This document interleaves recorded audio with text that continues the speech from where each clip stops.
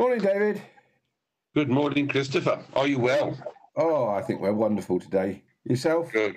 Yeah, keeping going. You know, despite the old war wound and all the rest of it, it's uh, it's all okay. You know, we're on our own today because sadly uh, Jo has had to go to uh, her old stamping ground in uh, in London um, to a funeral of uh, a man who was a great encourager of her in her early days of faith and uh, and youth youth work and so on. So uh, she's not with us today, and we so we pray for her and and for uh, her friend who's died. So uh, it's just you and me. Just you and me. What do you think we'll cope? Well, we will. It's a shame she's not here because uh, it's the story of Mary and Martha. I think we're going to hear it eventually. And I'm sure Jo's spin on Mary and Martha may be slightly different to ours, but it would have been interesting to have debated together. And we won't um, try and prejudge as to whether she was more Mary or more Martha. No, no, no, not That'll today. get us in lots of trouble. It'll get you in lots of trouble because I'm not even entering into it, Chris. So, so I'll leave that to you. If you wish to hang yourself by your petard, I'll leave it entirely up to you. Oh no, no, no, no, no. Did you notice a bit of Shakespeare? Did you notice a bit of Shakespearean creeping in there? Oh, you're so well educated, David. Oh, no, no, I don't think so. I'm from Smethwick. But apart from that, yeah, coping with the heat? I don't mind the heat. Uh, It's I don't like humidity. But I don't mind heat. Yeah, You can shelter from heat generally, can't you? you can do. when the when you can't get away from it, it can be a bit much. Impressive. That's right. Mm. Yes, I know. So I don't mind the heat, and uh, that, that'll be fine. And uh, I know you've got lots of things to, to prepare, weddings and funerals and things, and I've got some wedding uh, stuff to do. I've been served with a I've been served with a notice from the council, Chris. Have you? Well, what does that say? Well, it tells me that apparently I own, according to the diocese, part of what uh, uh, the I own the old what was the old churchyard at Holy Trinity, and somebody's put a preservation order on the trees, and it's my responsibility to deal with it. Well, I don't. Uh, well, if I own it, I want to. Can I sell it? Well, yeah, clergy pension. Yeah, exactly. So, uh, and uh, yeah, and the preservation order from the council says all trees, and I really would like to know if I wanted to object to the two holly, holly trees, which surely can't be a protected species. But which church is this other than Holy Trinity? There was a da- there was a daughter church in Beaminster, which uh, was built in the early 1800s Right. because Beaminster was expected to grow the other side of town over in the area called Shortmoor, which you wouldn't know, which probably where the Catholic Church is. And it never did.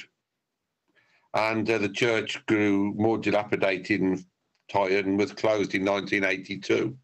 But it was the church in the town where the, the working people went to, as opposed to the town centre, which was the, you know, the posher people, so to speak, in those days. But of course, poshy's gone out the window since I arrived, so that's okay. Ah, you're here for the working man. I'm here for the working man, yeah. Black Country. It's Black Country Day today, you know. Is it? Uh, yeah, Black Country Day today. And I've already seen a number of Black Country flags and things on my Facebook page of people wishing themselves happy Black Country Day. One thing I never understood, and I remember having a lesson on it at school, and I still don't get it, is why Yeah. it's called the Black Country. Uh, no, it's, it's very simple. It used to be a, a centre of industry, didn't it? Lots of foundries and Yeah. smelting mines and coal mines. And Queen Victoria, whilst going through that area on her train, asked for the curtains to be closed on her carriage because of that awful black country. Ah, so it's Queen Victoria. Yeah, blame her. Yeah. Yeah, Yeah. blame her. They always referred to the Black Country as the industrialised area in when I was at school, but they never told me how it was named. That's why it was called the Black Country. Draw the blinds from this dreadful black country. There we go. I can go to bed now. I've um, I've learnt something today. You've learned something. There you are. So there you are on National Black Country. No, it can't be national, but on Black Country Day, you uh, you you've learned you've learned something. I've learnt something. So But the Black Country has kind of spread a long way now. I mean, 'cause it's good to be part of it. It's one of these, you know, selling points. But where I was born in Smethwick, it was never part of the Black Country, never. But of course, it's been a kind of attached itself to the title. Yeah. But the Black Country used to be Dudley, Cradley Heath, I guess, those kind of places. Wolverhampton, edge of, but not the soul. But Wolverhampton prides itself on being part of the Black Country. Only places like Bilston, because it had a big iron foundry, and Col- Col- Colsley and places would have been originally. So it's all those kind of places. Tipton is a big place. Tipton, you know, where every man had a flat cap and a ferret and, and a whippet. I broke my leg in Dudley. Did you? That's my claim to fame to the Black Country. Well, there you are. I was playing football for the Christian Union when I was at university. Oh dear, dear, dear. Dirty, dirty teams, some of these, yeah, Christian teams. Well, that was me. Oh, it's you. Oh, there we are. Well, the delightful Anne in our office, she's a Dudley person. Born and raised in Dudley. Has she Yeah, got? Has she still got the accent as well? Yes, when we get together in the office, people can't understand us. Brilliant. Shall we have a pause and Let's have a back Mary and Martha? Yes, on this good Black Country Day.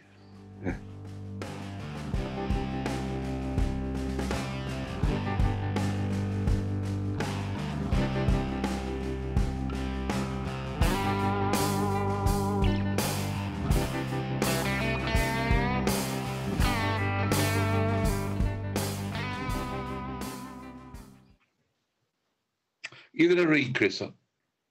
I'll read Luke chapter ten. Yeah. Now, as they went on their way, Jesus entered a certain village where a woman named Martha welcomed him into her home.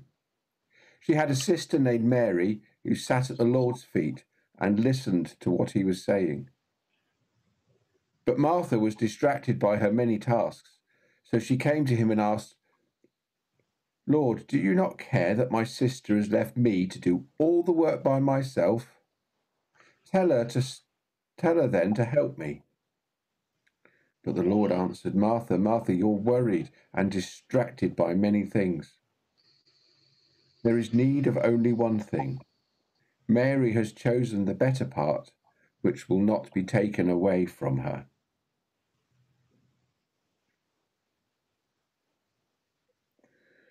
There we are. I'm just trying to bring in an association there of the Black Country being the Martha of England, where our industrial work was done.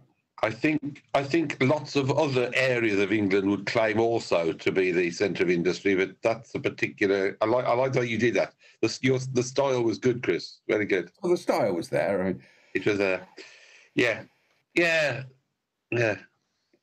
I think I think we you know we forget if we're not careful. The, longer we live, I guess the uh, the uh, history of our inherited places, you know, and, and what what they did and where they you know what what they meant in terms of prosperity for the country. Although of course the people weren't particularly prosperous uh, there, uh, the workers themselves. But that's an interesting passage. I- I've always liked that Mary and Martha story because you've got the um, the the the the counterbalance of the one who's the one who's deeply spiritual and hanging on every word that our Lord had to say, and the other one who is so busy working and I think deeply spiritual as well, but gets wound up because she feels she's being used and put upon. Um, and I and I wonder whether that's because she would like to also have been, you know, learning from from Jesus because that's what was I think part was going on. yeah, I think you've got the two. You're always you're always picking up Mary's, sorry, Martha's frustration of she wants to hear every word Jesus has to say, Yeah, but at that moment, it's but I've got to make her. I've got to make a cup of tea. so I've got to cook the dinner. I've got to get. I've got to make sure the biscuits are ready. I've got to get the cake out. We've got to. We've got to get the nice cake out. Oh, I better get the best china out. And when I've done all of that, I can sit down and listen what Jesus has to say. Yeah. And actually. Jesus says, just sit and listen. Whilst of course Mary's he's actually learned that skill already. You know, we'll get on with it later. Just in case people think we never prepare, I did have a quick read of what I said about this three years ago. Wow, Chris, this is exciting news. Oh, exciting news. And I actually went into the realms of a little bit of speculation. Oh, But it was oh. okay because I labelled it as speculation. That's good. And I did say, you know, it may have been that Martha's job was making the tea and cooking the biscuits and the cakes, and Mary's job had been cleaning the living room and getting the place spick and span ready for Jesus' visit. And Mary had worked hard the day before and done all her jobs. Yeah. And so she could sit down and listen to Jesus because her jobs had been done. But that's pure speculation, dear reader. As you're proving with this very moment in time, uh, forward preparation, which you're suggesting Mary had done, is working a miracle. You see, because I'm like I'm I'm like I'm like Martha because I've now got my book. I'm trying to look through it to see if I can compete in these stakes. You see, Oh, I'm just getting. what did I'm you say six years ago then, David? uh, what did I say nine years ago and twelve years ago? uh, very much similar to yourself, probably, Chris. At one point, and that might I would imagine I've changed it uh, a bit. It's um, I just love the story that vi- that that um, you know that not vision, but that you know thing of you know Mary sitting at Jesus' feet when I came into ministry, maybe totally misguided and totally naive, perhaps that's really what I felt we would be doing. You know, learning from Jesus, listening to him, the quiet time, the spiritual time. But we know that we're very much like Mary, aren't we? Because you're going to be dashing around arranging a wedding and a funeral. I'm going to be swearing a license and doing team news articles, and and then I'm going to be getting ready for something else, and then I'm going to be getting ready for something else, or at the PCC meeting tonight because um, they can't not meet. They've got a co-op meeting all the time, even though there's nothing on the agenda different from a few weeks ago. And and, and we've become martyred, haven't we? Well, I think, and I think to me that's the purpose of the parable, isn't it? You know, we do our daily offices, our morning and evening prayer, but it can so easily get squeezed out, and our Yes. time with Jesus can get squeezed out because we have so much to do all the time. And you know, Jesus came and had a cup of tea with Yeah. Mary and Martha, Yeah. and that little snapshot of the hour or however long Jesus was in the house with Mary and Martha is the time to sit down and reflect with Jesus. So enjoy your guest. Um, you know, I even had to work. I, I remember how we had a little discussion with Julia last week. Me and Julia sat in the garden, and she was sat there looking. Oh look, there's a weed there. Oh, I've got to prune that plant. Oh, that needs trimming. Oh, this needs doing. And I just said, look, there is a point where you can actually sit down, have a cup of tea, and enjoy your garden without being burdened by the amount of work that still needs to be done in it. Yeah, I mean, that's right. And it, it is to a degree about the, the whole that story, in many ways, is about service, isn't it? Mm. For Mary, service is being with Jesus, learning, hearing, hopefully being prepared to take it on and using it. Whereas for Martha, service of Jesus meant, as you say, making him a cup of tea, baking him a cake, Yeah. and doing. Mm. And if we're not careful, we get caught up in the doing and not in the being in the presence of and with with Jesus. Yeah, and And I, it's it's you know it's probably more visible in small rural churches because there's a lot of rural spirituality where they just keep quiet. They just get on with the work. Yeah. You know, and they go to church, we pray, but the work's done. The roof's mended, the heating's put on, the communion table's set. All the work is done around keeping these little churches running Mm, and it's done in great faith. Um, but I was also deeply heartened, you know, the other last year or so when, you know, somebody had a heart attack in one of these little rural churches. A gentleman just goes in and prays every day yeah, to spend his five minutes. He said, "He just, I just sit there in five minutes, and then gets on with his work." yeah. There's something in that story about it's more in for. Is it more? Is, is it more? Uh, you know, I'll, I'll phrase it. Is it to the post? It is. Is it more important to feed the spirit or the soul or the body? Because that's the kind of the comparison. Is it Martha's busy feeding, and G, and, and and and Mary's being fed by Jesus. Yeah, And I, I was noticing yesterday because the viewer we were on a we were on our annual compulsory, supposedly, attendance day um, at the feet of the bishop and uh, etc. Uh, at, uh, at Bryanston School. And I was interested. I sat there just trying to uh, observe because I like observing people. Part of my job used to be people watching in a way. And I was amazed how many people were still constantly working on their phone throughout the whole of the day. They just couldn't stop. And I deliberately left. I, yeah, well, I deliberately left my phone in the car. I thought yeah, I, no. answered, I answered a couple of emails just because they needed an answer. Yeah. And I should have been at the feet listening to every word the bishop said. Well, you were. I'm sure you were there.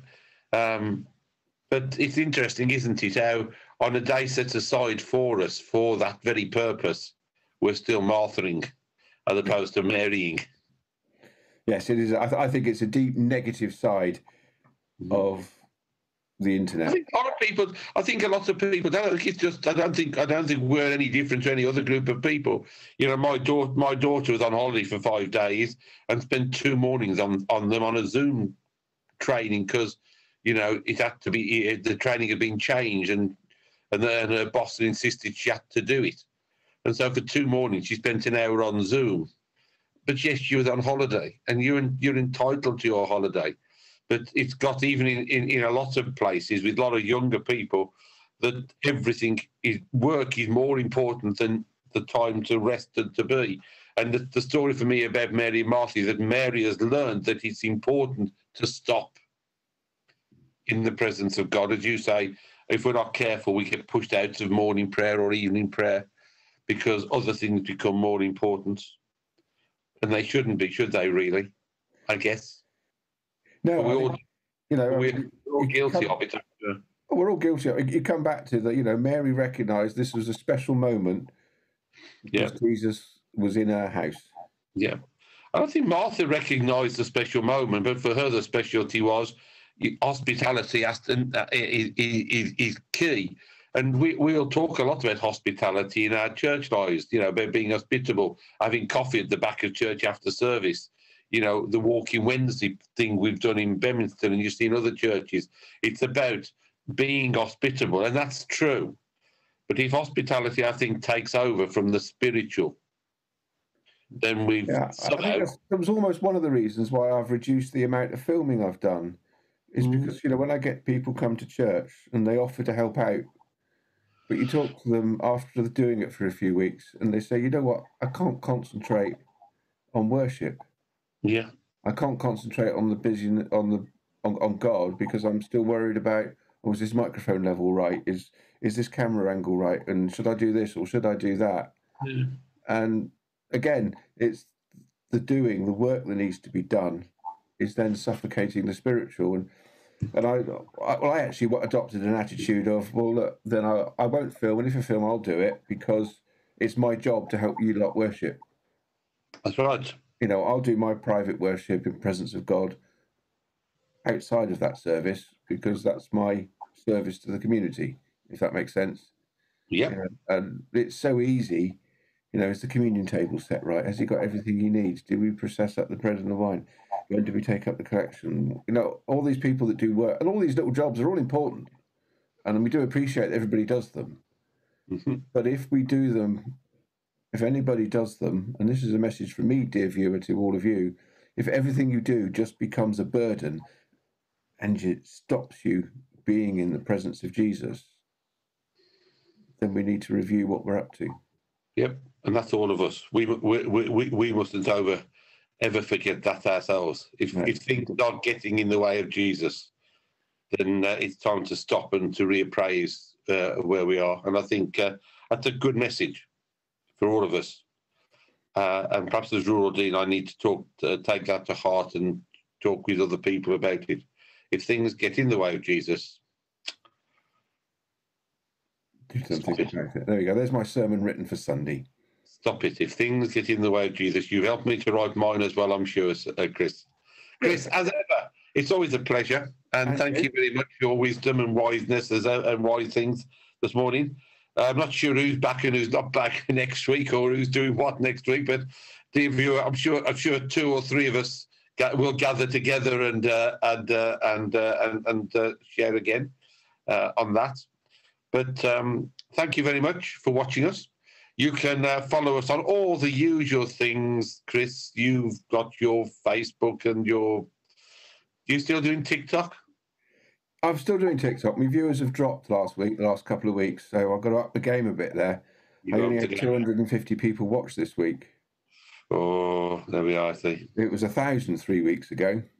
Yeah, you must have said something though that was stimulating the um, stimulating. Maybe I'll go and record now, and I'll talk about what gets in the way of Jesus. What gets in the way of Jesus? Yeah, and if you're in the Beaminster area, you can catch us on Facebook and Twitter and YouTube and on Instagram. the website, Instagram, and all those kind of things.